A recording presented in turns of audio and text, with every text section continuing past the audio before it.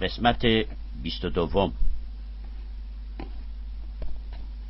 وقتی از خواب بیدار شدم ساعت نه صبح بود و دوریان هنوز خواب بود.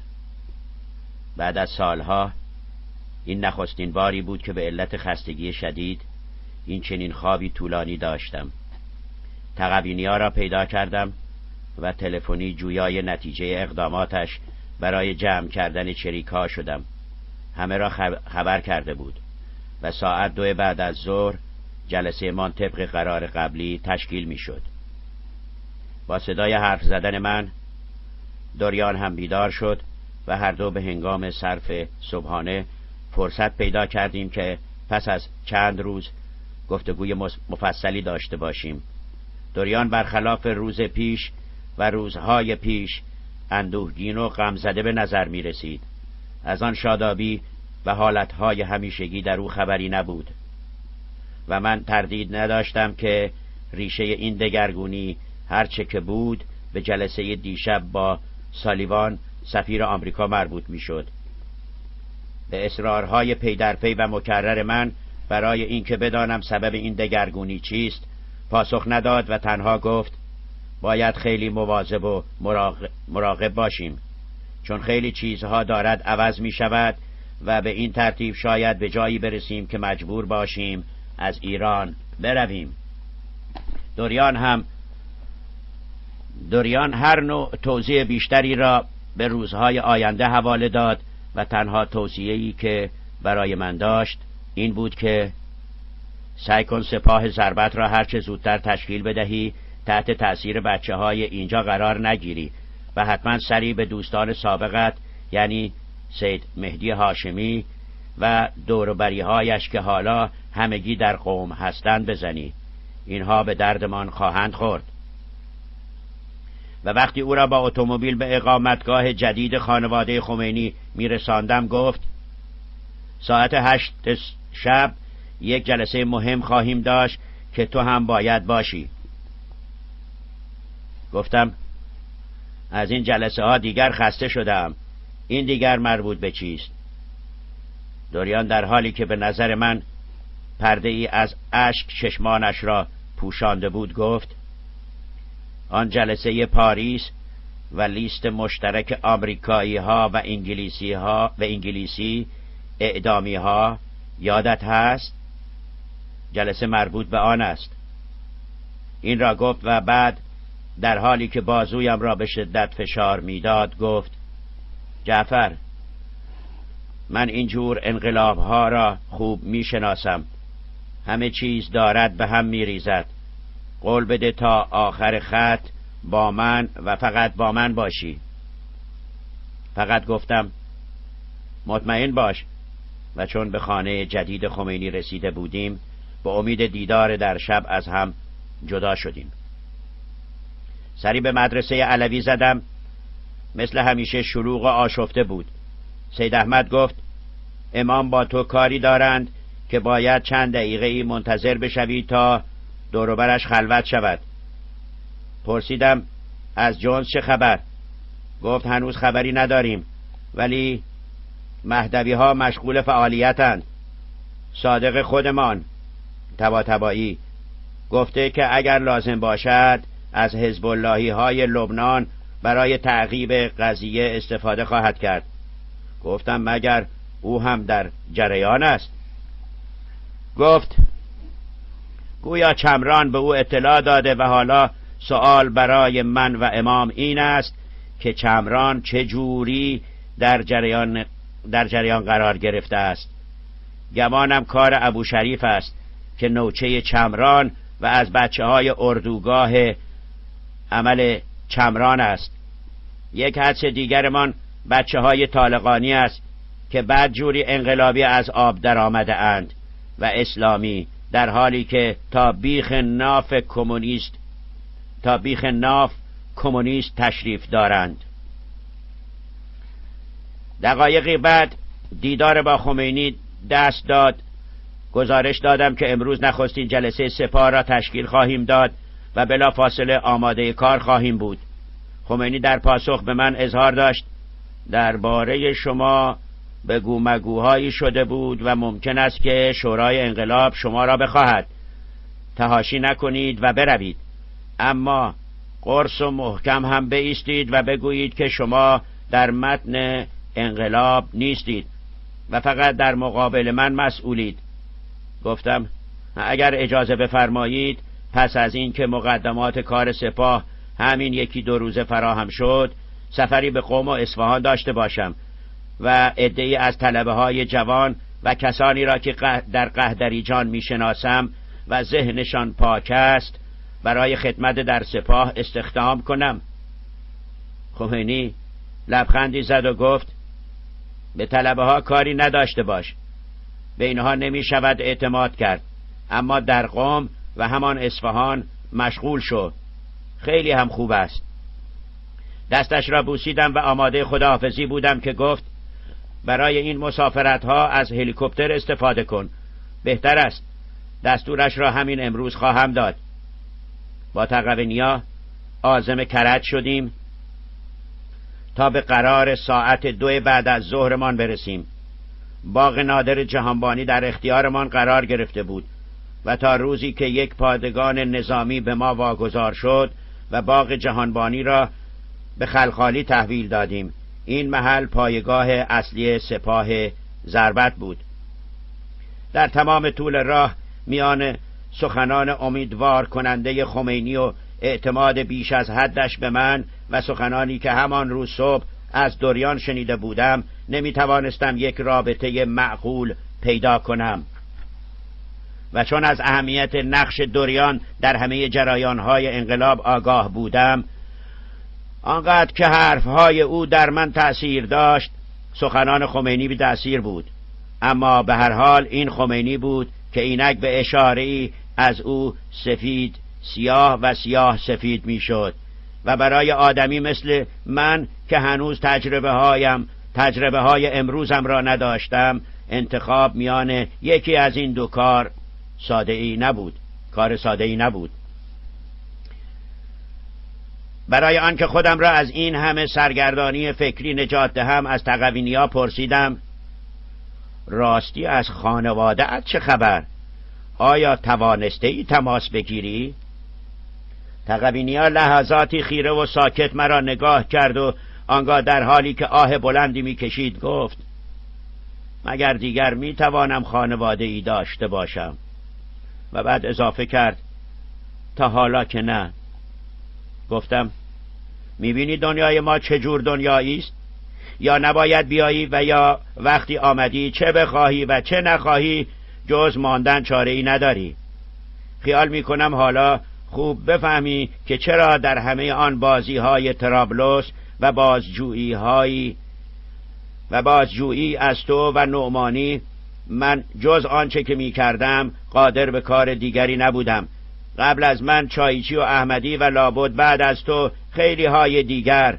به حال فکر می کنم با پا گرفتن کار سپاه یواش یواش بشود به خانواده هایمان نزدیک شد.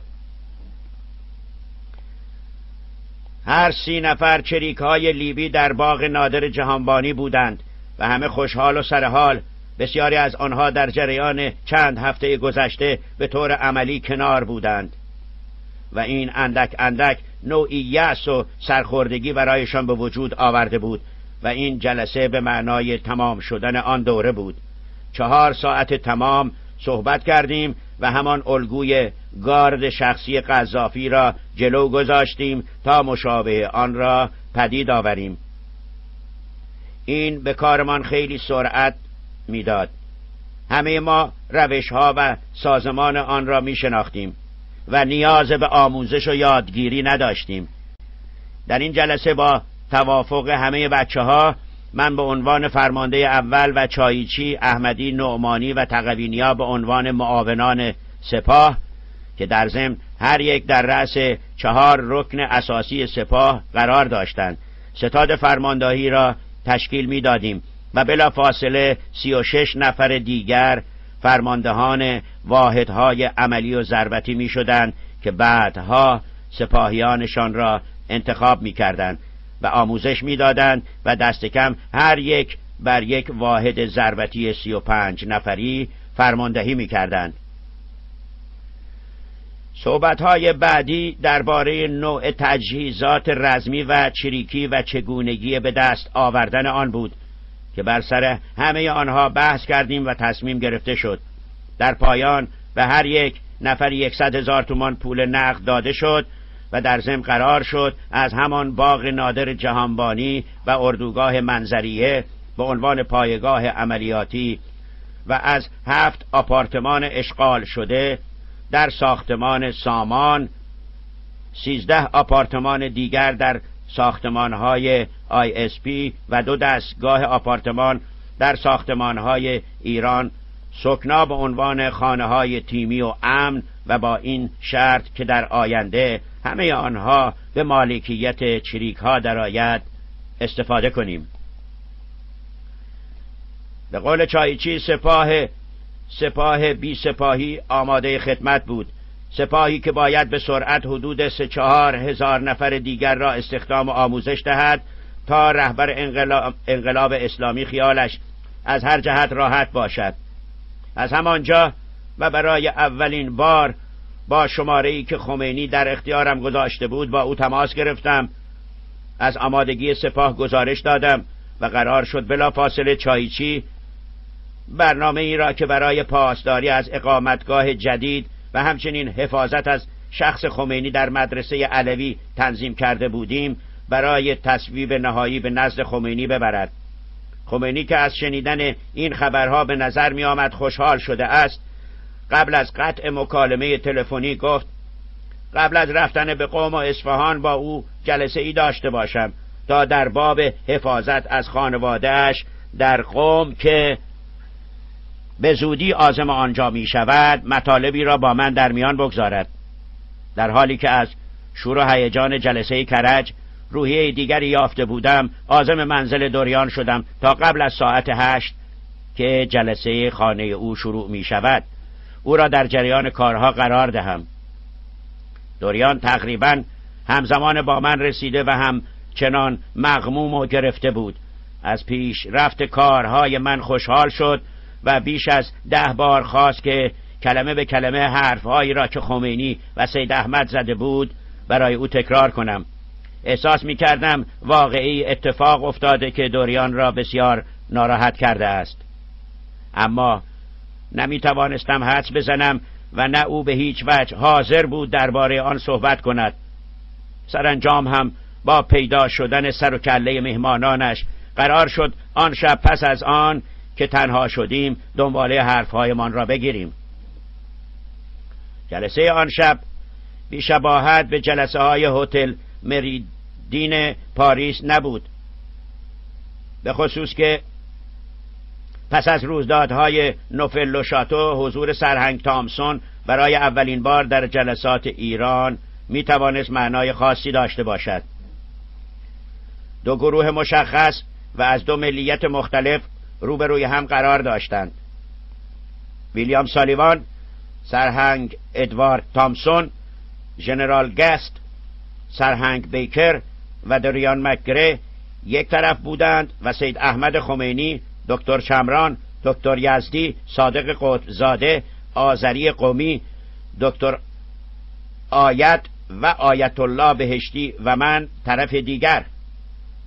برخلاف جلسات دیگر دوریان آن شب بدون هجاب اسلامی و با آرایشی شبانه حضور داشت. و این در حالی بود که دست کم سه نفر از شرکت کنندگان در جلسه عباپوش بودند. یزدی کمران قطبزاده به تناوب کار کار ترجمه را انجام می‌دادند. جلسه با بحث درباره گرفتاری های پیشبینی نشده ای که به وجود آمده بود آغاز شد و به کم و زیاد کردن فهرست نام کسانی که باید اعدام می شدن به پایان رسید. دکتر آیت و آیت الله بهشتی اولویت در دستگیری ها را به وزرا و وکلا و به طور کلی غیر نظامیان اختصاص می‌دادند و آمریکایی ها به بهانه حفظ ارتش ارتش متلاشی شده شاه اصرار بر اعدام سریح فرماندهان نظامی داشتند. تامسون به سراحت گفت همه مشکلاتی که انقلاب با آن مواجه شده به خاطر آن است که در همان چند روز اول نسبت به از میان رفتن فهرست پاریس اقدام نشده و در حال حاضر بسیاری از آنها فرار کردند و به هر حال خطر اساسی برای رژیم جدید از ناحیه آنهاست. ساعت یازده شب وقتی که جلسه رو به پایان بود ژنرال گست فهرست تازه ای را در اختیار آیت الله بهشتی قرار داد که نام 634 نفر از فرماندهان نظامی ارتش شاه روی آن نوشته شده بود. این فهرست نام کسانی بود که باید بلا فاصله دستگیر و محاکمه می شدند از این فهرست که در همان جلسه همان جلسه تقسیم شد سهمی نیز برای دستگیری آنها در اختیار من قرار گرفت. تا به کمک شریک هایم نسبت به بازداشت آنها ظرف مدت سه روز اقدام کنم این کاغذ را من هنوز در اختیار دارم و این اسامی را می توان روی آن به فارسی و انگلیسی خواند. سرلشکر پرویز امینی افشار سرلشکر معتمدی فرمانده تیپ زرهی قزوین سرتیب ملک سرتیب همدانیان سپهبد فخر مدرس سپهبد نوزری بقا سرتیب آیت محقق سرتیب امجدی سرتیب فتحی مقدم سرلشکر خاج نوری سپهبد هاشم برنجیان ناخدا شهریار شفیق ارتشبد توفانیان سرلشکر منوچهری سرتیب محمد شهنام تیمسار, تیمسار شعایی فرمانده نظامی جهرم تیمسار آزادی سرهنگ سلامی تیمسار عین القضات سرلشکر زند کریمی سرهنگ مسعود زمانی سرلشکر خلوتی سرلشکر کازم خزایی سرلشکر کمانگر سرهنگ ابراهیم هوشنگی سرهنگ قروی سرهنگ یاسایی سرلشکر سوداگر سرهنگ کریمیان آذر سپهبد ناصر مقدم سپهبد ایرج مقدم سرهنگ جهانبینی ارتشبد رضا عظیمی سپهبد محسن هاشمی نژاد کمال الدین حبیب اللهی فرمانده نیروی دریایی سپهبد محسن زاده کرمانی سپهبد هاشم نجفی نژاد سپهبد هاشم حجت سپهبد موسا رحیمی لاریجانی سپهبد ناصر فیروزمند سپهبد ابوالحسن سعادتمند سپهبد وشمگیر سپهبد جعفر صانعی سپهبد محمد کاظمی سپهبد سیاوش بهزادی سپهبد نصرت الله فردوست سپهبد حسین جهانبانی سپهبد جلال پژمان سپهبد حبیب نعمتی سپهبد امیر فرهنگ خلعتبری سپهبد جمال الدین تسلیم توکلی سپهبد علی محمد خاج نوری سپهبد رضا مهدوی اردستانی سپهبد پرویز صفایی نیلی سپهبد محمد رضا وحدانی سپهبد رضا پروانه سپهبد محمد رحیمی آب کناری سپهبد جواد معتزد دریا سالار ابوالفتح اردلان سپهبد عبدالعلی نجیمی نائینی سپهبد هوشنگ حاتم سپهبد خلیل بخشی آذر سرلشکر حمید جهانبانی سرلشکر علی اکبر دهپنا سرلشکر محمد حسین شهیر مطلق سرلشکر علی رضا ثابت آزاد سرلشکر محمد گوران سرلشکر مرتزا فکور سرلشکر صادق حریری سرلشکر هرمز مقصودی سرلشکر حسین علی علمیه سرلشکر علی بیات سرلشکر حمید داوران سرلشکر منوچهر فوزی سرلشکر محمد حسین میرموجی سرلشکر کازم نجفی نژاد سرلشکر حبیب الله سمری کرمانی سرلشکر محمود ماهرویان سرلشکر حسین عظیمی سرلشکر خلیل شجاعی سرلشکر حیدر وفا سرتیب فضل الله افشار سرتیب محمد ساوجی سرتیب عبدالله عصر جدید سرتیب هوشنگ فیلسوفی گیلانی سرتیب پرویز امینیان سرتیب منصور امیر اردلان سرتیب حسین فرجی فر سرتیب سلخانیان سرتیب رضا کازمی سرتیب اردشیر شکیب سرتیب محمد حسین ریاضی سرتیب هادی قائمی سرتیب عطا الله نامدار عراقی سرتیب مصطفی کریمی افشار سرتیب ایرج سرتیب ایرج مسترشد سرتیب عزت الله آزموده و سرتیب محمد جلالی اینها را من و چریکهایم باید دستگیر می کردیم و تحویل مهدوی کنی می دادیم تا به قول سرهنگ تامسون انقلاب اسلامی از خطر مسون بماند. برای دستگیری بقیه نیز کمران اعلام آمادگی کرد تا با چریک های ایرانی، لبنانی و فلسطینی گروه عمل این کار را گروه عمل این کار را انجام دهد.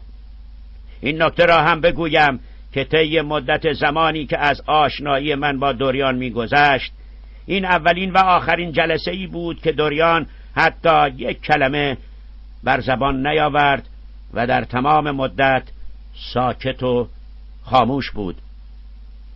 به محض آنکه مهمانان بیرون رفتند دوریان در حالی که مثل همیشه لخت و برهنه می‌شد تا به حمام برود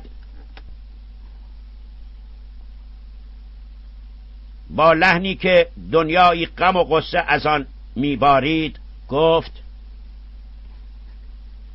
مثل اینکه داریم به آخر خط می‌رسیم. این سالیوان احمق ایران را با لاوس و فیلیپین عوضی گرفته است. و در حالی که به زمین و زمان فوش می‌داد. وارد حمام شد. قسمت بیست و سوم. دوریان در حالی که همچنان لخت و برهنه بود و تنها حولهی به سرش پیچیده بود با یک بطر ویسکی و دو لیوان پر از یخ وارد اتاق خواب شد و بیدرنگ حمله را آغاز کرد. ببین جعفر اگرچه خود من هم در به وجود آمدن این وضع مقصر مقصرم اما تو فعلا به عنوان یک مرد خونریز قاتل آدمکش و بیرحم در انقلاب اسلامی شناخته شده ای و همه جا صحبت بر سر این است که به راحتی آب خوردن می توانی سر از تن جدا کنی و من اصلا دوست ندارم هر وقت و هر کجا صحبت قتل و دزدی و آدم است. اسم تو اولین اسمی باشد که به ذهن اینها می‌رسد. فعلا گرفتاری های خودم کم است. این تبلیغات بدی هم که روی تو می شود و آن اضافه شده است. در حالی که پس از مدتها حرفایم را با قسم و آیه چاشنی می کردم گفتم تو بهتر از هر کسی مرا می شناسی و میدانی که نصف آنچه که فعلا در مدرسه علوی بر سر زبان هاست دروغ و شایعه است. همین امروز در مدرسه یکی از این چریک های مجاهد از من سوال می کرد شما تا به حال در چند چند تا هواپیما ربایی شرکت داشته ای و هرچه می گفتم هیچی طرف باورش نمی‌شد. اما نمی‌دانم اگر برنامه قبلی به هم نخورده باشد قرار بود از این سر و صداها برای زهر چشم گرفتن دو دور بر من باشد. یعنی پیشنهادش از خود تو بود. دوریان بی آنکه به این موضوع اشاره کند گفت فعلا که این سالیوان احمق دارد همه برنامه ها را به هم می ریزد گفتم ببین دوریان من از همان دیشب متوجه تغییر حال تو شده ام از من که کاری ساخته نیست و از این جور چیزها هم سردر نمی آورم اما به هر حال دلم می‌خواهد که تو ناراحت نباشی و بدانی که هر کاری از دست من ساخته باشد و تو بخواهی انجام می‌دهم. دوریان در حالی که لبخندی تلخ نزدیک لب با لبخندی تلخ نزدیک آمده بود تا صورتم را ببوسد گفت تو این دکتر بهشتی یا به قول شما آیت الله بهشتی را از کجا می‌شناسی و چطور می‌شناسی؟ گفتم بهشتی اصفهانی است زن اصفهانی هم دارد از خانواده امامی ها اما آشنایی من با او از ماجرای باغ حاج تراب درچهی که قضیهش را برایت گفتم شروع شد. البته نه اینجور که حالا هست. خب آن موقع او دکتر بهشتی بود و من یک بچه قصاب و نمی توانست رابطه ای جز همانی که بود میان ما وجود داشته باشد. دوریان که حالا دیگر روی تخت دراز کشیده بود و سرش روی سینه من بود گفت این از تو اما این آیت الله شما را از وقتی می‌شناسم که تو حتی هنوز به دنیا نیامده بودی. من آن موقع از آمریکا برای کار در اداره اصل چهار ترومن به ایران آمده بودم. فقط شانزده سال داشتم و شغلم سکرتری بود. و او رئیس اصل چهار بود. وارن وارن رئیس اهل اصل چهار بود. و با آنکه شازده سالگی برای استخدام منع قانونی داشت اما وارن این کار را انجام داد و مرا با خود به ایران آورد. خیلی از شخصیت های سرشناس رژیم شاه آن موقع از کارمندان اصل چهار بودند. این بهشتی آن موقع موقع ها هنوز آخوند نشده بود و کت و شلوار می پوشید خوب هم می پوشید و به عنوان کارمند محلی رد پایینی در اصل چهار زیر نظر قفور آلبا کار می کرد اگر بگویم با توجه به کمی اطلاعات من و همچنین اختلاف سنی که با دوریان داشتم آنچه که او تعریف می کرد برایم حکم قصه و افسانه را داشت باور کنید. من نمی‌دانستم اصل چهار ترومن چیست و نمی توانستم خیلی از این اسمهایی را که می آورد درست تلفظ کنم. در آن موقع تنها این موضوع برایم اهمیت داشت. که زن صاحب نفوذی چون دوریان که همه برایش احترام قائل بودند و حتی از او می ترسیدند محرمانه ترین اسرارش را تنها برای من می گفت این اسمها و این خاطرات بعدها و در تکرارهای مختلف و به مناسبتهای مختلف در ذهن, در ذهن من ماند و اینک که صاحب تجربیاتی شده ام و ناگزیر کمی هم درس خانده ام تازه می‌فهمم که بی اطلاعی چه دردی است و داشتن اطلاعات هم چه مصیبتی. دوریان همچنان سخنانش را دنبال می کرد و در میان نوشیدنی های پیاپی اسرارش را فاش می کرد آن روزها یعنی سالهایی که مصدق نخست وزیر بود و من در ایران بودم این آقای آیت الله دکتر بهشتی به قول شما ایرانی ها یک دل نه صد دل عاشق من شده بود. هر وقت که من هم هر وقت که من هم کششی به سوی او پیدا می کردم قفور آلبا آنچنان شرح و تفصیلی از بیشعوری خنگی و خرفتی و کند ذهنی او برایم تعریف می کرد که به راستی دل مرا از هرچه مرد بود به هم می‌زد. از آن زمان تا حالا ما هیچ وقت از حال و روز بهشتی بیخبر نبوده ایم. حالا با این مقدمه که بعد هم پرونده روابط خصوصی من و او به آن اضافه خواهد شد خوب گوشهایت را باز کن و ببین چه خواب و خیالهایی برای این بابا و کشور تو دیده و چگونه من و تو می توانیم نگذاریم این خواب و خیالها پیاده شود. یک بار دیگر قافگیل شده بودم و تازه میفهمیدم که آن مقدم چینی برای زمینه دیگری به جز قصه گفتن بوده است. دوریان نیست که مانند من از جا بلند شده بود. روی تخت مقابل من نشست و گفت دیشب سالیوان همان مرد موسفید که سفیر آمریکاست تلگرافی را در جلسه مطرح کرد که به موجب آن به دستور مقامات دیسی من باید از حرمسرای خمینی به حرمسرای بهشتی نقل مکان کنم چون به زودی اداره کننده کشور شما بهشتی خواهد بود و نه خمینی.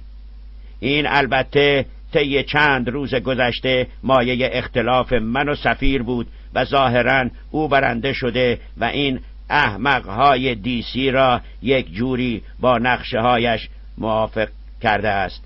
اینها دنبال یک اسقف مارکاریوس جدید برای مملکت تو هستند. گفتم خب برای تو چه فرقی دارد که این باشد یا آن؟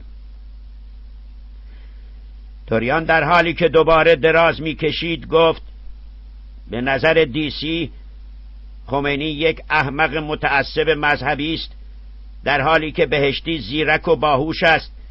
این فکر از کله علیل سالیوان بیرون آمده و در حالی که اگر این حرف درست هم باشد که نیست برای این کار خیلی زود است.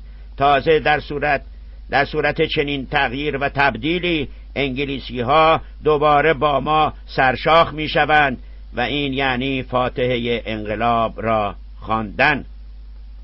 گفتم چرا دیسی را در جریان نمی‌گذاری؟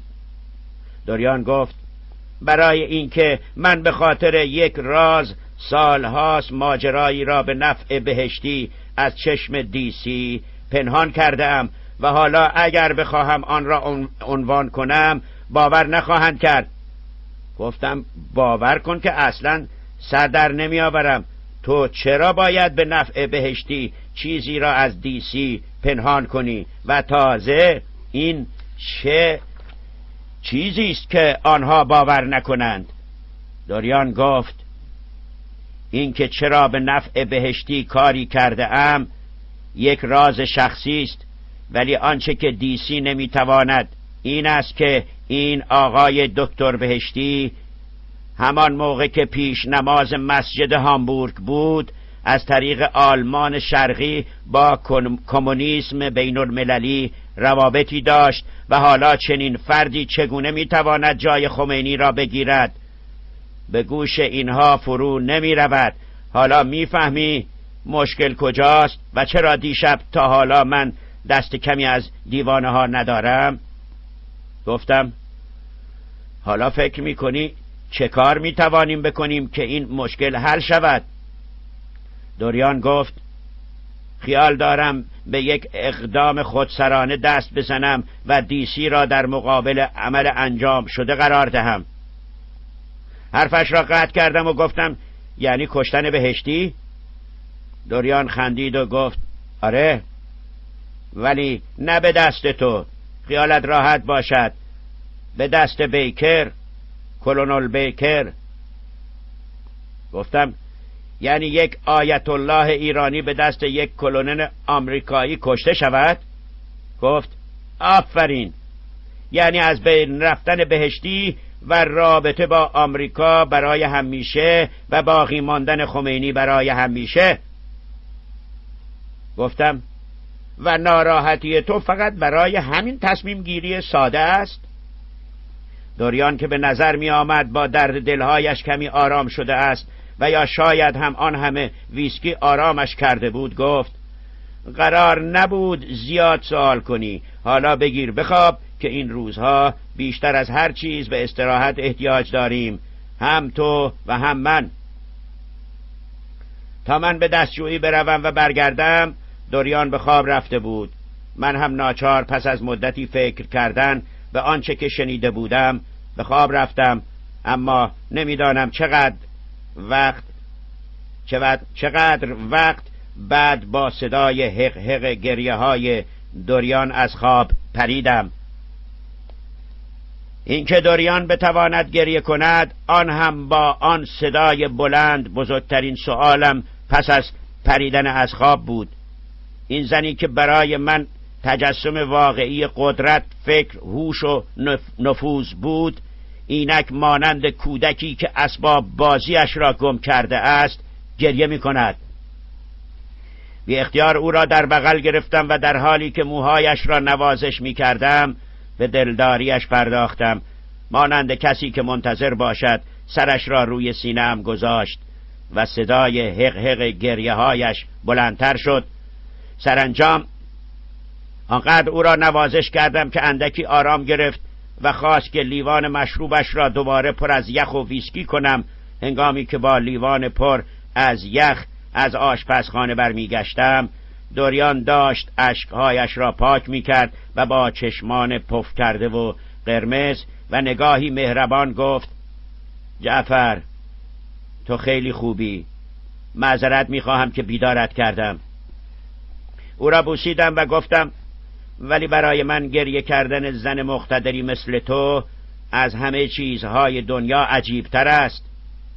دوریان و گریه یعنی چیزی که در خواب هم تصورش را نمی کردم دوریان که تازه داشت به حال طبیعی برمیگشت دوباره زد زیر گریه و در میان گریه و اشک و فریاد گفت جعفر جعفر آخر تو که نمیدانی بهشتی پدر دختر هفده ساله من هم هست.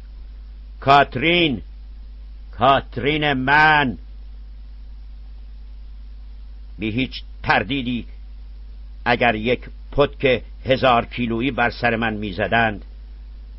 تحملش آسانتر از آن بود که دوریان بگوید یک دختر هفده ساله از آیت الله بهشتی دارد. دیگر حتی مسئله زنده ماندن یا نماندن بهشتی برایم مطرح نبود. مسئله این بود که چگونه یک سید اولاد پیامبر آن هم یک آیت الله آن هم آیت الله بهشتی با یک زن آمریکایی که جاسوسی کارش بود رابطه داشته و چگونه از او صاحب دختری شده که حالا هفده سال دارد.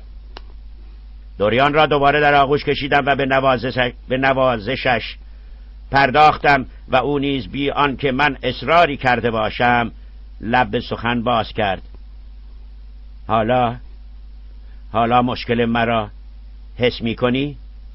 می‌فهمی چرا گزارش رابطه بهشتی با شرقی ها را به دیسی ندادم؟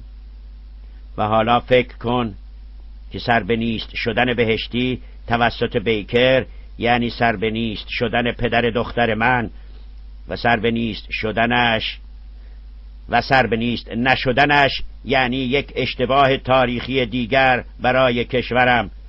کشورم که از پانزده سالگی خودم را فدایش کرده ام گفتم ببین من اصلا نمی‌توانم خیلی چیزها را در این قضیه بفهمم. چطور؟ آخر چطور زنی مثل تو دوریان؟ می‌تواند با یک آیت الله رابطه عاشقانه داشته باشد. آن هم هفده هجده سال پیش. دوریان گفت این ماجرا در فرانکفورت اتفاق افتاد. من ناراحتی زنانه داشتم و دکترها توصیه می‌کردند حتما باید بچه دار بشوم.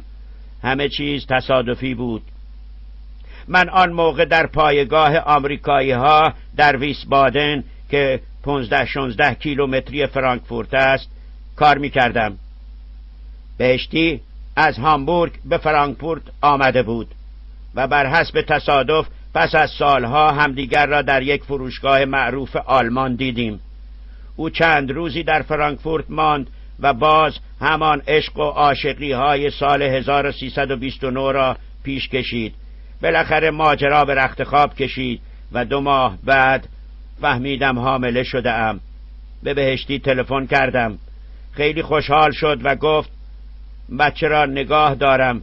از آن به بعد مرتب به فرانکفورت می آمد.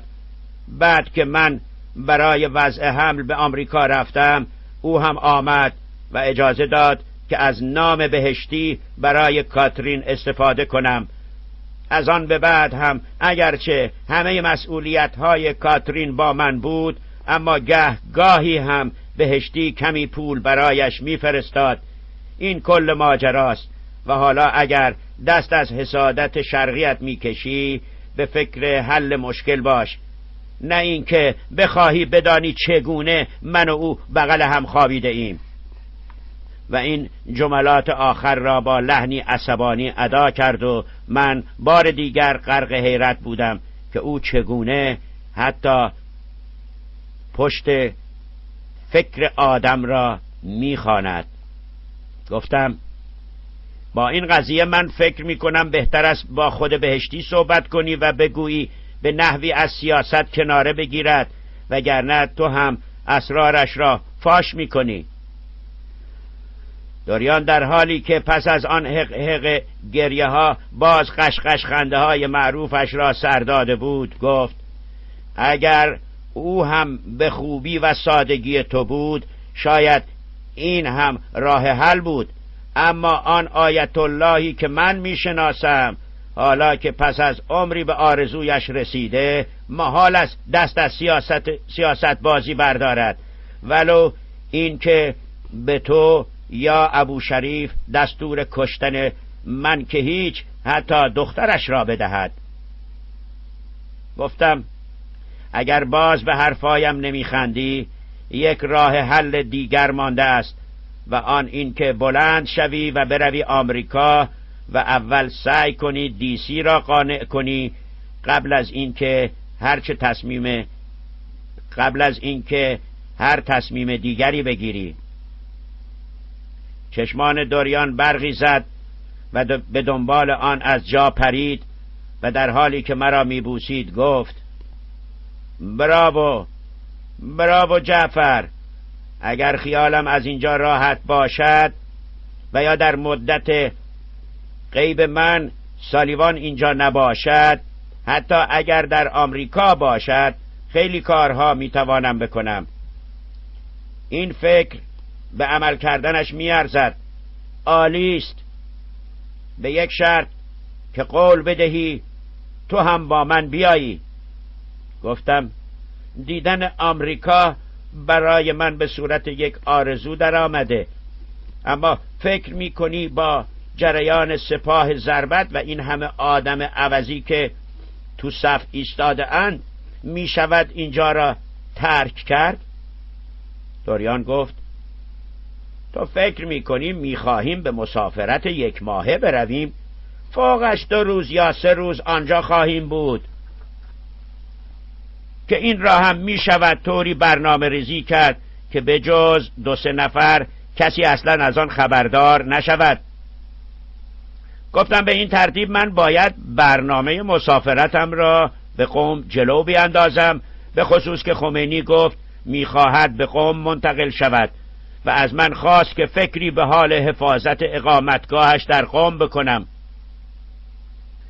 دوریان گفت این هم یکی دیگر از اشتباهاتی است که پیرمرد دارد به تحریک بهشتی و سفیر سلیوان می کند. یعنی درست همان کاری را که نباید بکند دارد انجام می دهد. حرف هم به گوشش فرو نمی رود. گفتم مگر تو در این باره با او صحبت کرده ای؟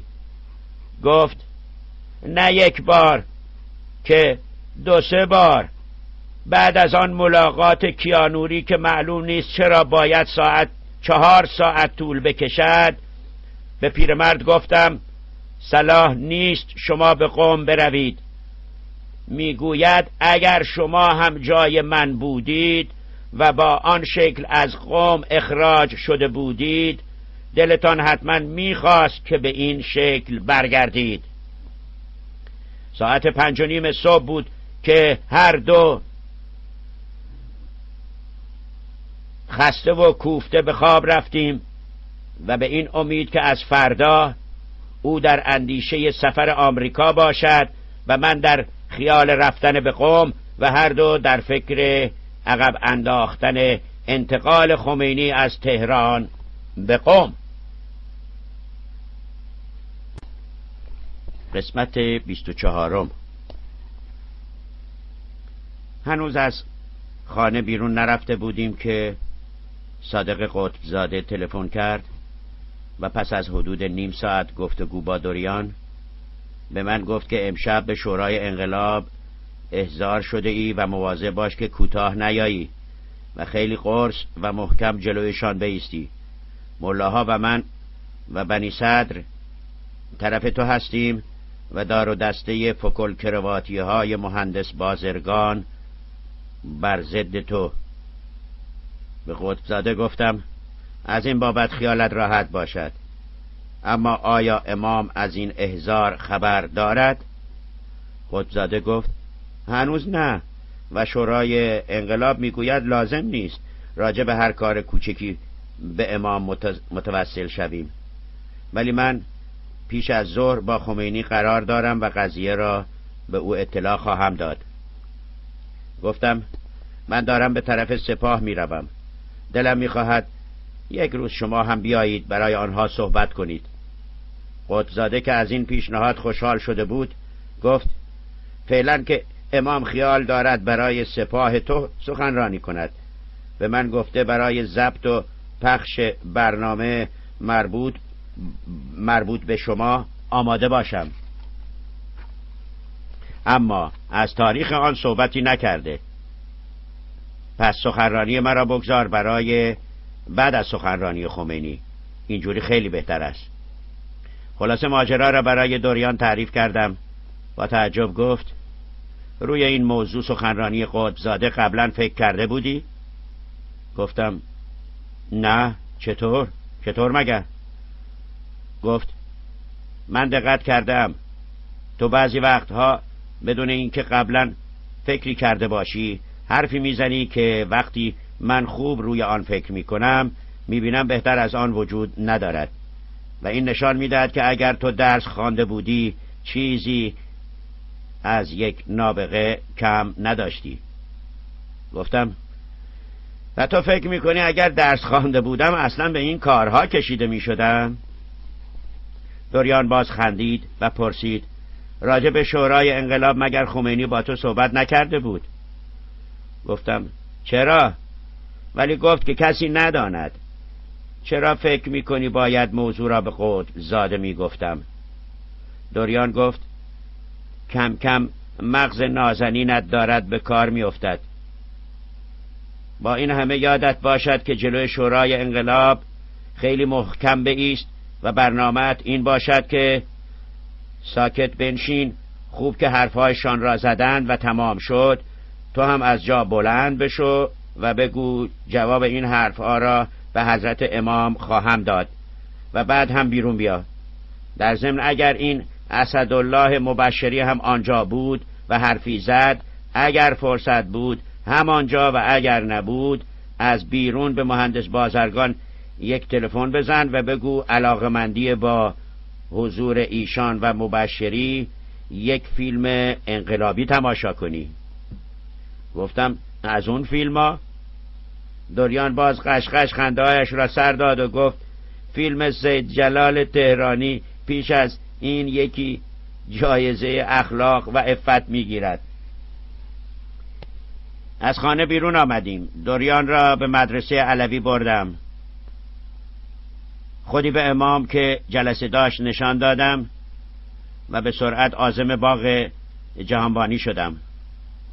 بچه ها که سواد و تحصیلات یک یکیشان از من خیلی بیشتر بود به طور جدی مشغول کار و برنامه ریزی بودند و با آمدن من تماس های سپاه را با واحدهای انقلابی هم برقرار کردیم و توانستیم تهیه خیلی از کارهای مورد نیاز مثل وسایل آموزشی اردوگاه و اسلحه های مشقی و سایر لوازمی را که احتیاج داشتیم وارد مراحل مقدماتی کنیم. نکته جالبی که توجه همه ما را جلب کرده بود این بود که با هر جا تماس می گرفتیم جواب نه می گرفتیم و این نشان می‌داد که محرمانه بودن کار ما فقط حرف است و خود امام جلوتر از همه دستور همکاری با ما را به نهادهای انقلابی داده است.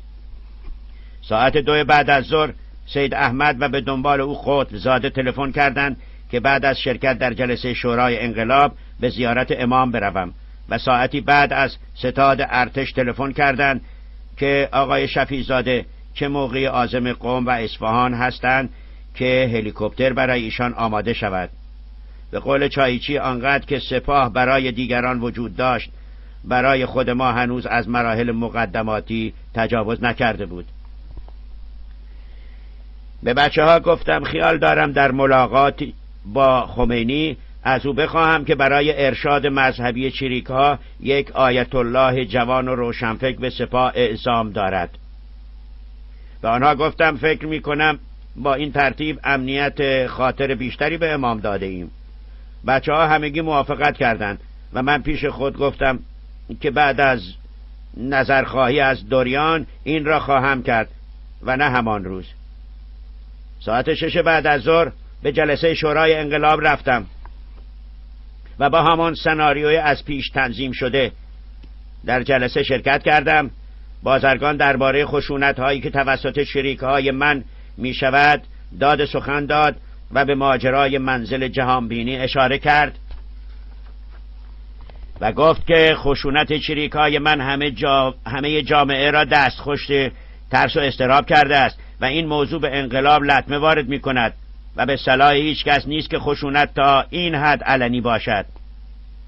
حدود 20 دقیقه صحبت کرد و بعد خواست که من جواب این مسائل را بدهم. من هم در حالی که از جا بلند می شدم گفتم فرمایشات شما را شنیدم. جوابش را به حضرت امام عرض می کنم چون واحدهای زیر نظر من تنها در برابر حضرت امام مسئول است. امیدوارم آقایان محترم این عمل مرا به حساب بیادبی من نگذارند. و بیا آنکه منتظر پاسخ یا نظر تازه ای باشم از در اتاق بیرون آمدم و شتابان به دیدار خمینی رفتم.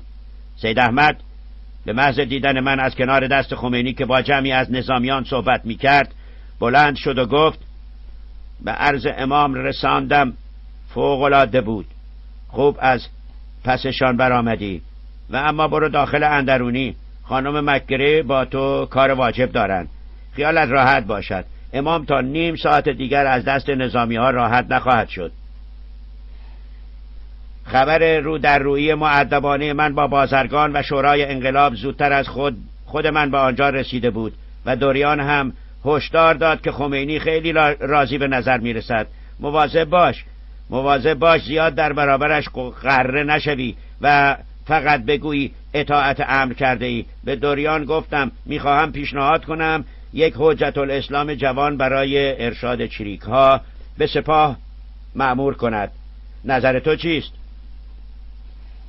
دوریان در حالی که از زیر چادر نمازش میخندید گفت بالاخره تو هم رگ خواب امام را پیدا کردی. حتی یک لحظه هم صبر نکن که بهتر از این نمی شود در ضمن اجازه بگیر که فوری به قوم بروی چون دوستان سابقت مشغول کارهایی هستند که به نظر خطرناک و خیلی هم خطرناک می آید پرسیدم می توانی بگویی چه شده است؟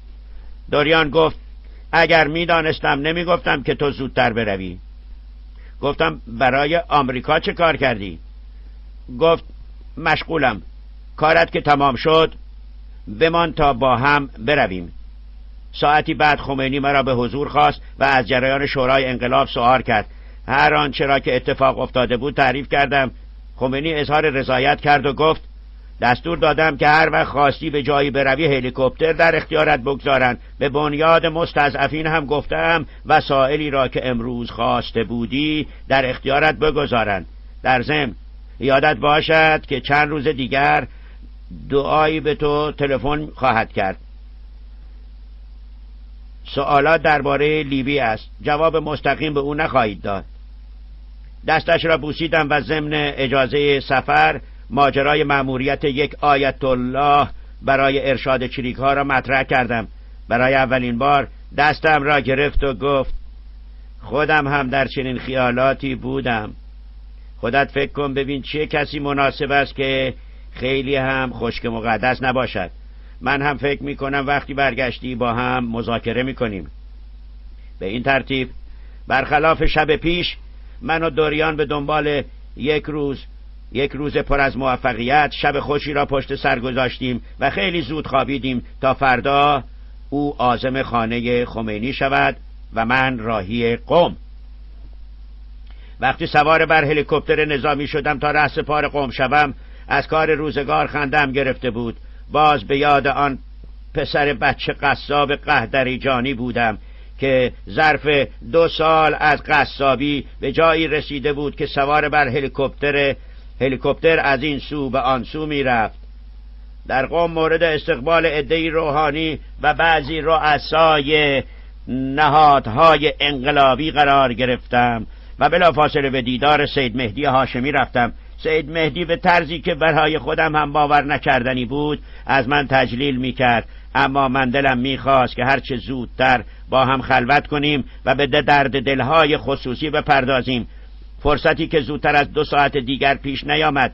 وقتی که بالاخره تنها شدیم گفت به آنچه که می‌خواستیم برسیم رسیدیم و حالا مملکت در دست خودمان است. من به تمام تعهداتی که به آقا جعفر خودمان داشتم چه آزاد بودم و چه در زندان عمل کردم. مو به مو و دانه به دانه.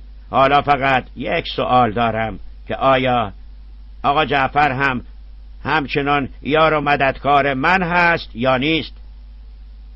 بلند شدم و او را بوسیدم و با حالتی که طی دو سال گذشته در خودم سراغ نداشتم و بیشتر شباهت با رفتار آن بعد از زور تابستان قهدری جان داشت با همان شرم و ادب یک بچه قصاب که سید مهدی هاشمی قهرمانش بود گفتم من دار و ندارم و همه امکانات و موقعیتم را از تصدق سر شما دارم. در این دو سال روزی نشده که شاکر این محبت ها نبوده باشم. وقتی خبر دستگیری شما را شنیدم می‌خواستم از دمشق فرار کنم و برای نجاتتان جانم را بگذارم. اما گفتند که شما راضی نیستید. سید مهدی هاشمی نگذاشت حرفم تمام شود و در حالی که با خوشحالی هرچه بیشتر جلو آمده بود تا پیشانی مرا ببوسد گفت همه اینها را می‌دانم. سوالی را هم که کردم به این خاطر بود که تجدید عهدی کرده باشیم تا بتوانیم راحتتر درباره برنامه های آینده صحبت کنیم. گفتم شما حتی یک لحظه در نوکری و کوچکی من تردید نکنید. سید مهدی هاشمی به دنبال یک مقدمه طولانی سرانجام به اصل مطلب رسید و گفت همانطوری که دو سال پیش رسیدن به چنین وضعی برایمان خواب و خیال بود حالا هم می‌خواهم بگویم که این وضع زیاد به طول نخواهد انجامید و رهبر سیاسی آینده ایران من و رهبر مذهبی آن حضرت آیت الله منتظری خواهد بود. بنابراین در این جوی که به, وجود آمده در این جوی که به وجود آمده و سگ صحابش را نمی‌شناسد کسانی مثل ما که از قدیم تخم این انقلاب را کاشته ایم. باید زنجیروار به هم بچسبیم و برنامه هایمان را طوری هماهنگ کنیم که در زمان مناسب بتوانیم به هدفهایی که داریم برسیم. فعلا اوضاع خیلی شلوغ و در هم بر هم است.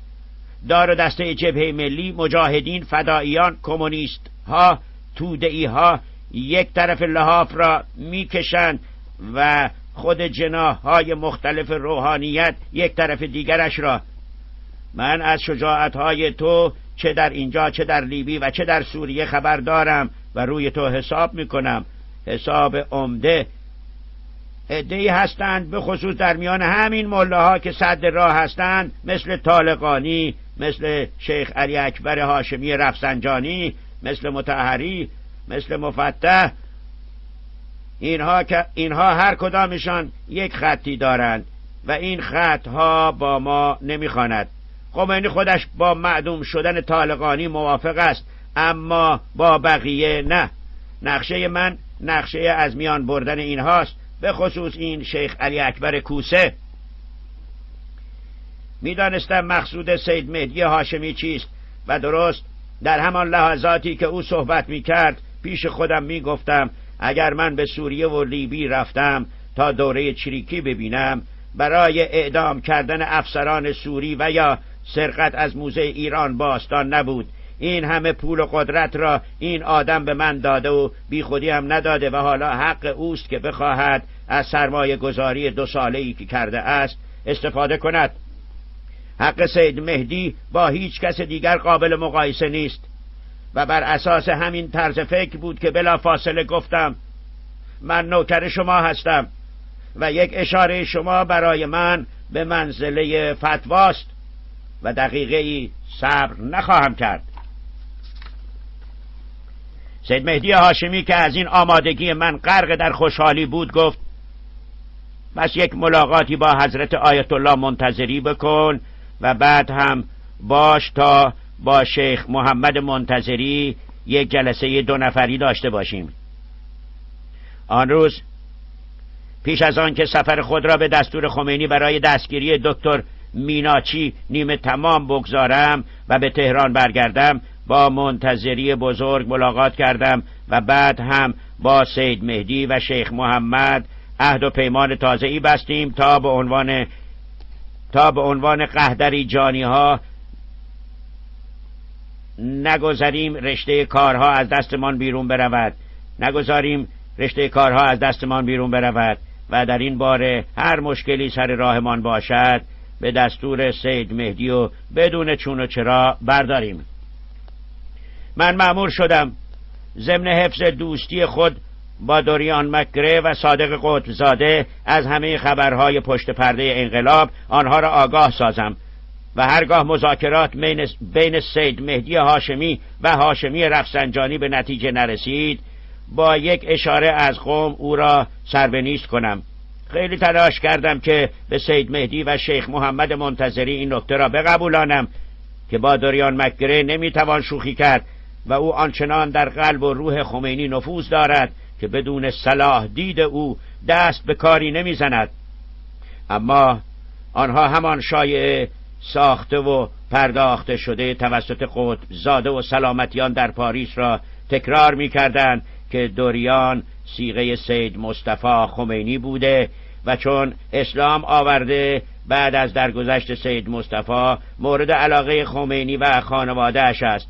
در حالی که من شاهد و ناظر بودم که این شایعه توسط قطب زاده و سلامتیان به پیشنهاد خود دوریان ساخته و پراکنده شد.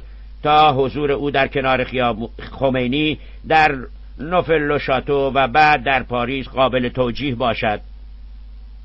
به هر حال همینجا اضافه کنم که اندک مدتی پس از این مسافرت, مسافرت من به قوم دکتر متحری و چند ماه بعد مفتح ترور شدند که من در این سوء قصد ها هیچ نقشی نداشتم.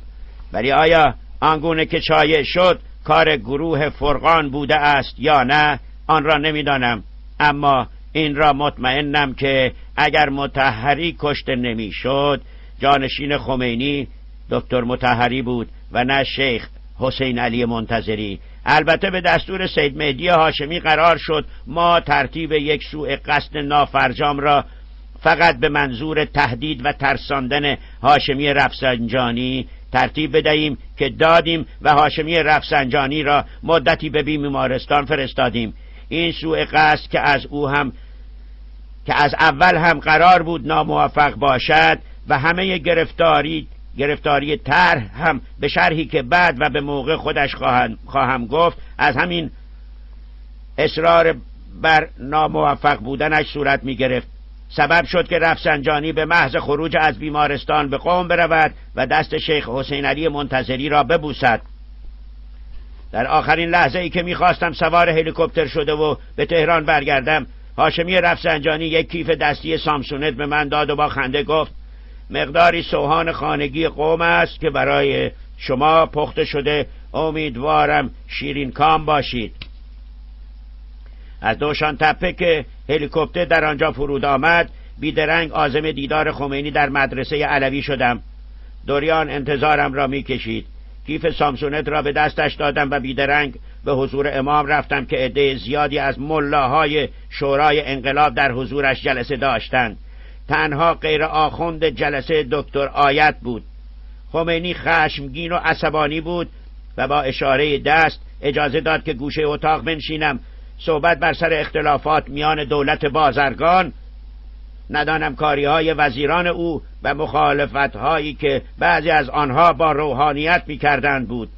خیلی زود دریافتم که دکتر موینفر در حقیقت جاسوس آخوندها در کابینه مهندس بازرگان است و این اوست که خبرهای آن طرف را برای اینها می آورد و آنها را عصبانی می کند وقتی من رسیدم دکتر آیت داشت مطالبی می گفت که من از خلال آن اطلاعاتی را که اشاره کردم به دست آوردم. وقتی صحبتهای دکتر آیت تمام شد خمینی در حالی که به من نگاه می کرد گفت اگر این دکتر میناچی به حبس بیفتد کار آقایان حل می شود و چون تقریبا همه جواب مثبت دادند در حضور همه رو به من کرد و گفت سب کردم تا شما برسید. با آقای دکتر آیت صحبت کنید و ترتیب حبس هر کس را گفت بدهید. هر کس یعنی این دکتر میناچی این کار را هم بگذارید برای فردا صبح. و وقتی همه به جز من و سید احمد و شیخ ملا شهاب اشراقی رفتند خمینی خطاب به من گفت هرچه به شما گفتند به سید احمد بگویید. و تا من خودم دوباره به شما نگفتم کسی را حبس نکنید. حالا دیگر نوبت حضرت امام بود که پی در پی مرا احضار کند و هر باری به طرزی تازه قافلگیرم سازد. خمینی گفت از قوم برای این گفتم بیایید که فردا به اتفاق بچه های سپاه به اینجا بیایید برایتان صحبت کنم ساعت یک بعد از ظهر.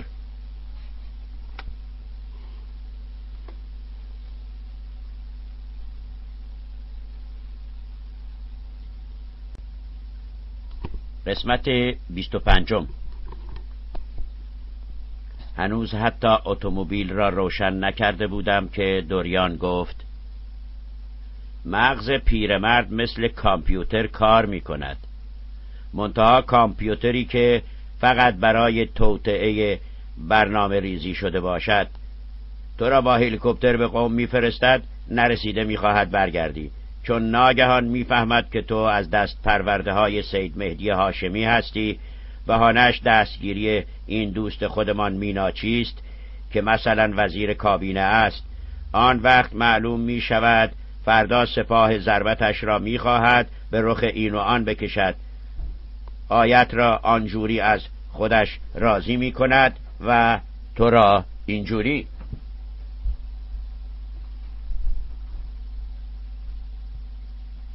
گفتم مقصودش از این کارها چیست؟ خندید و گفت جای پای خودش را محکم می کند. هنوز هم باورش نمی شود و حالا تو بگو در قوم چه گذشت. توطعه های شما به کجای رسید؟ بالاخره قرار شد رفسنجانی و متحری و مفتح را بکشید یا نه؟ اولین خبرهای مربوط به من و قدزاده و بقیه را کی قرار است به سید مهدی کی قرار است به سید مهدی بدهی؟ اگر دوریان را نمی شناختم و از قدرت و نفوذ او آگاهی نداشتم باورم می‌شد که این زن به صورت یک موجود نامرئی در تمام روز و در سفر قوم با من بوده است. گفتم تو اینها را از کجا میدانی؟ گفت چیزی نمی‌دانم. فقط می‌خواهم یک دفعه به سر جعفر عزیزم نزند که چون خودش را مدیون سید مهدی هاشمی می‌داند حقیقت را به من نگوید. این بار نوبت من بود که بخندم و پیش از آن که مو به مو غذایای سفر قوم را برایش تعریف کنم فقط گفتم تو تنها کسی هستی که نمی شود به تو دروغ گفت. دوریان گفت این سید مهدی اعجوبه است و برنامه ریزی هایش هم حساب شده است. تنها کسی است که فقط به امروز فکر نمی کند و آینده را هم در نظر دارد. به هر حال امیدوارم به هر آنچه از تو خواسته است حتی جاسوسی از من موافقت کرده باشی و اما در عمل هیچ کاری انجام ندهی مگر آنکه به مسلحت همه باشد. وقتی به خانه رسیدم صدای زنگ تلفن بلند بود دوریان گوشی را برداشت و بعد از چند لحظه کوتاه که به انگلیسی چیزی گفت مکالمه را قطع کرد و خطاب به من گفت بیکر دارد به اینجا می آید. مثل اینکه چند تا دوز گرفته است. سراسیمه پرسیدم دوز؟ دوریان که داشت به طرف آشپزخانه می‌رفت با لحن تمسخر آمیزی گفت دزدهای عرب و بعد خواهش کرد بروم و در را روی کرونل بیکر باز کنم بیکر کلید منزل را داشت اما هر وقت من و دوریان در خانه بودیم از کلید استفاده نمی کرد و زنگ می زد. دوریان و مکگره مدتی نزدیک به نیم ساعت به انگلیسی با هم صحبت کردند و بعد به طور خلاصه برایم تعریف کرد که پیش از ظهر کلونل بیکر متوجه می شود که دو نفر قصد بالا آمدن از دیوار خانه دوریان را دارند. صبر می کند تا آنها وارد خانه شوند و چون قبلا متوجه شده بوده که آنها از یک جیپ تویوتا پیاده شده اند به سراغ جیپ می رود و تنها سرنشین جیپ را با تهدید اسلحه پیاده می کند به خانه خودش منتقل می سازد دست و پایش را می بندد و سودابه را که تصادفا در منزل بیکر بوده به مراقبت از شخص دستگیر شده می‌گذارد و آنگاه به منزل دوریان می رود و آن دو نفر را نیز که هنوز مشغول ور رفتن به قفل در ورودی ساختمان بوده اند دستگیر و به خانه خودش منتقل می سازد. حالا هم هر سه نفر در خانه بیکر هستند و سودابه و دو آمریکایی دیگر از آنها محافظت می کنند. گفتم اینها نگفتند هدفشان از این کار چه بوده است؟ دوریان گفت مسئله اینجاست که دو نفر از آنها عرب هستند و سومی هم که یک ایرانی است حتی یک کلمه حرف نمی‌زند گفتم بهترین کار این است که آنها را به بچه های سپاه تحویل دهیم. دوریان با بیکر گفتگو کوتاهی کرد و گفت بیکر می‌گوید تا خودمان ندانیم که اینها چه کسانی هستند و مأموریتشان چه بوده است صلاح نیست به جایی تحویلشان بدهیم چون به هر حال رؤسایشان به کار میافتند و بدون اینکه چیزی دستگیر ما شده باشد از چنگمان خارج می‌روند. پس از مدتی گفتگو دوریان گفت کلید حل مشکل در دست قطب زاده است. هم از خودمان است و هم عضو شورای انقلاب. این را گفت و به سراغ تلفن رفت. یک ساعت بعد قطب زاده آنجا بود و پس از آن که در جریان جزئیات قرار گرفت از من خواست که پنج نفر چریک ها را اعزار کنم تا دیدارمان از دستگیر شدگان حالت رسمی داشته باشد. ساعت دو بعد از نصف شب بود که نعمانی و چهار نفر چهار نفر دیگر از شریک ها رسیدند و همگی به اتفاق به منزل کرولن بیکر که دیوار به دیوار خانه دوریان بود رفتیم. دوریان و قطبزاده در همان نگاه اول هر سه نفر دستگیر شدگان را شناختند. آقای هانیال الحسن نماینده یاسر عرفات در تهران ابو راشد فرمانده ستون ضربت فلسطینی ها در تهران و پسر آیت الله طالقانی.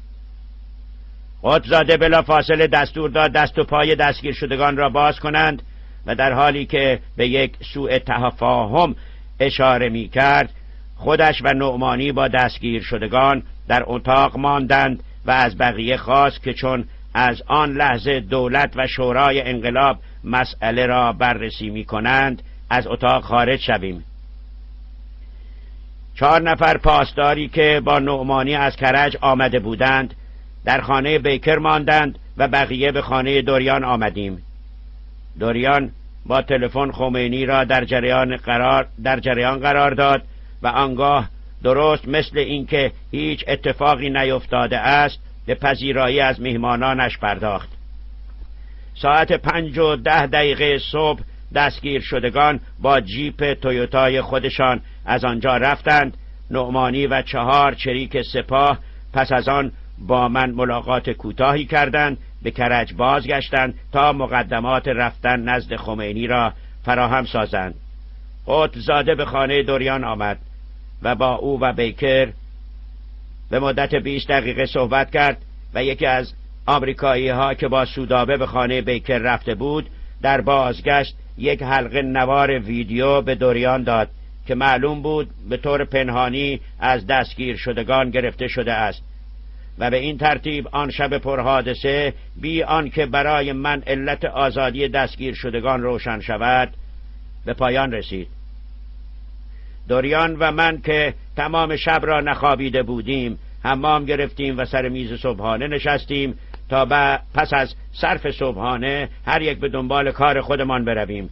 دوریان معتقد بود اگرچه نمی شود قطب زاده را به خاطر آزادی آنها سرزنش کرد اما آزادی آنها بدون مشورت با بیکر و دوریان هم کار صحیح نبوده است. قطب زاده به دوریان گفته بود که همه چیز را کشف کرده و علت مراجعه پنهانی آنها را به خانه دوریان می‌داند. و اینها همه را وقتی که فقط با دوریان تنها بود به او خواهد گفت. گفتم حالا کی با قطب زاده قرار کی با زاده قرار گذاشته ای؟ گفت همان موقع که تو با چریک هایت نزد خمینی هستید وقتی که برای دومین بار دوریان چای در فنجان من میریخت گفت بلند شو و کمی از آن سوهان قوم بیاور که با چای بخوریم. کیف سامسونتی را که دیروز سید مهدی هاشمی داده بود باز کردم و در نهایت عجب به جای سوهان خانگی قوم آن را لبالب از دلار سبز آمریکایی دیدم. دوریان که از صدای خنده من متوجه امری غیر عادی شده بود نگاهی به من و کیف لبریز از دلار انداخت و در حالی که میخندید گفت خدا می‌داند سید مهدی از کدام ثروتمند فراری گرفته است. اما ناگهان با سرعت مشغول بررسی اسکناس ها شد و پس از آن که مدتی با آنها ور رفت گفت این هدیه دوست عزیزت سید مهدی که چیزی نزدیک به یک میلیون دلار است قسمتی دلار واقعی و قسمتی دلار تقلبی است. حالا هم موقع جدا کردن آنها نیست. بگذار برای شب تا بعد ببینیم در این کار دیگر چه کلکی است. چای بدون سوهان را خوردیم و از خانه خارج شدیم. روز بیهوده ولی پر از تلاشی بود.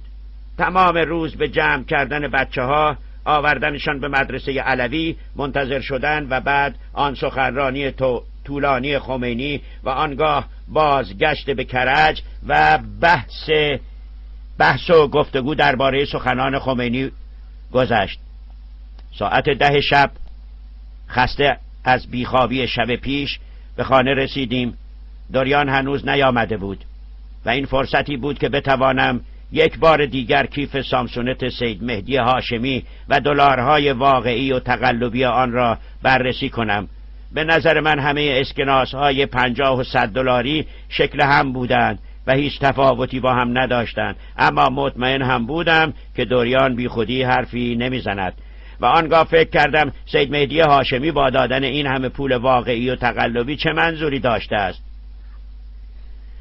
اسکناس ها روی, روی تخت خواب مشترک من و دوریان پخش و پلا بود که دوریان وارد شد و یک چک بانکی روی آنها انداخت و گفت این درست است. به دوستانت بگو یاد بگیرند. در حالی که گونه هایش را میبوسیدم گفتم از کجا آمده؟ دوریان که دوباره چک را برداشته بود و میبوسید گفت سه میلیون دلار است و حضرت آیت الله العظما دکتر سید محمد بهشتی برای دختر نازنینش کاترین بهشتی مرحمت فرمودند. و قشقش خنده را سر داد. پرسیدم پس برنامه رفتن به دیسی جور شد؟ دوریان گفت بله و بی آن که من پیشنهاد کرده باشم حضرت امام فرمودند آقای شفیع زاده برای محافظت شما در این سفر معمور خواهد شد. گفتم چه موقع خواهیم رفت؟ گفت هر وقت گذرنامه تو حاضر شد. گفتم گذرنامه من که حاضر است. خندید و گفت گذرنامه ای که مهر ورود و خروج سوریه و لیبی در آن نباشد. به هر حال تو به این کارها کاری نداشته باش و سعی کن طوری برنامه ریزی کنی که برای این غیبت پنج روزه جز همان چهار نفر معاونانت کس دیگری در جریان قرار نگیرد. مثلا می‌خواهی به اصفهان بروی و یا نمی‌دانم یک همچنین بحانه هایی گفتم قضیه هانی حسن و قطبزاده چه شد؟ گفت مفصل است ولی روی هم رفته قطبزاده خوب عمل کرده است. هانی حسن خیلی سریح و در مقابل چشم پسر طالقانی گفته است که دفتر الفتح هیچ برنامه ریزی قبلی در این مورد نداشته و همراهی با پسر طالقانی به دستور خود آیت الله طالقانی بوده است گفتم تو این حرفها را باور می‌کنی؟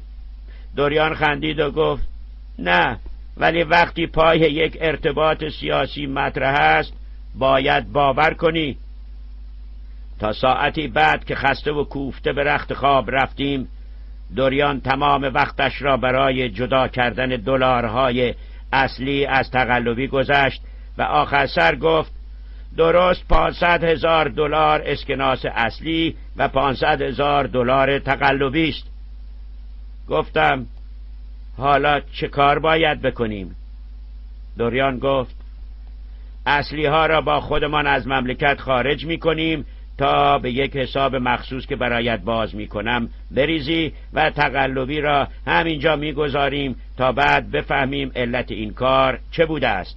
ممکن است که اصلا سید مهدی هاشمی هم خبر نداشته باشد و دستهایی در کار وارد, در کار وارد کردن دلار تقلبی در بازار باشد که آن وقت قضیه طوری دیگر می شود دوریان داشت از آرزه هایی که با او که با وارد شدن پول تقلبی به بازار پیش می آید تعریف می کرد که احساس کردم دیگر نمی توانم حتی پلک هایم را باز نگه دارم و به خواب فرو رفتم.